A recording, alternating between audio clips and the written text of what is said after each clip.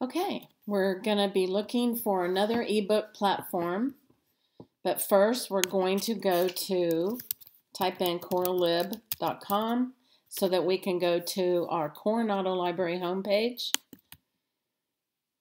And then once we're at the homepage, click on menu, and you're going to then click on ebooks.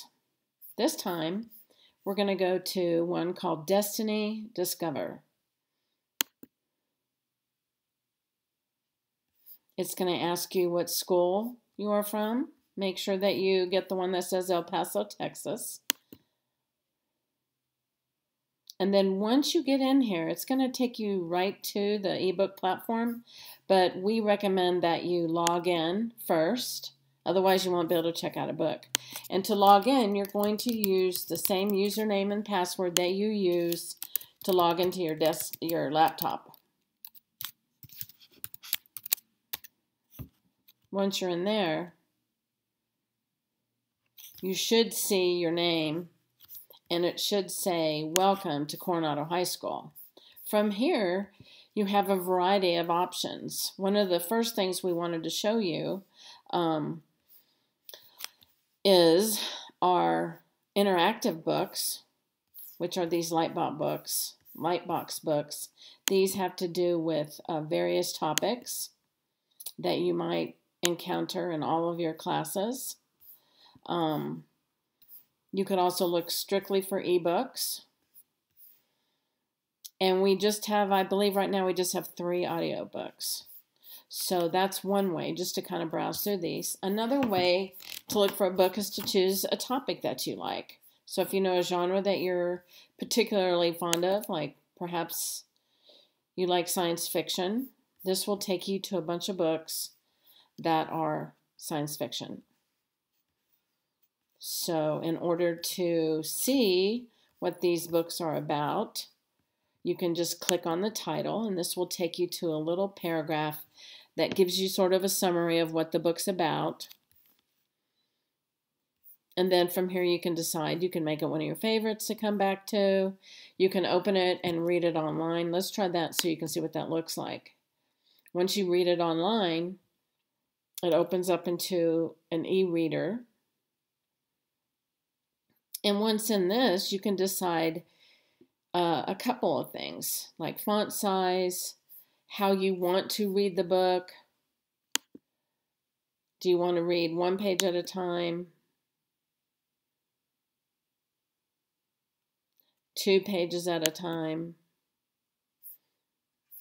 Oh, because this is a preview, you don't get to read the whole thing. But uh, you can go to the menu and you could look at whatever page you want to go to. Um, if you want to read it offline, you can download it, and so it'll be on your computer. Uh, Destiny Discover also has an app that you can download to access these things from your phone. Once you've decided that um, you can make your font bigger, Determine how you want your page to lay out. I can make it go, I can make the book go up and down or sideways. And then I can also change the colors behind my fonts so that it makes it a little bit easier. Um, also in a Mac, you can just use your uh, key to make it bigger too. So in this particular one, you're going to go sideways. So you might have to scroll up and down to read the whole page. And once you've decided that you're finished with that part, you can come back up here and close the book. And if you want to check it out, you could do that. Once you have checked out a book, you do need to return it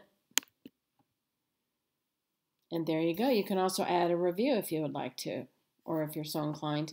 Keeping in mind that you need to use proper language. Okay, that's how you can do those kind of books. Other ways you can search is by Lexile reading levels if you know yours, and you just kind of set the limits as to what reading level you want to search for, and you can find them that way. Um, in this particular uh, database, they I would say they have more nonfiction than fiction, and they also have fiction in um, a lot of different languages. So um, let's see if I can pull up some French books. These are books that are specifically written in French. So if you're just learning the French language, this might be one of the ways you could go.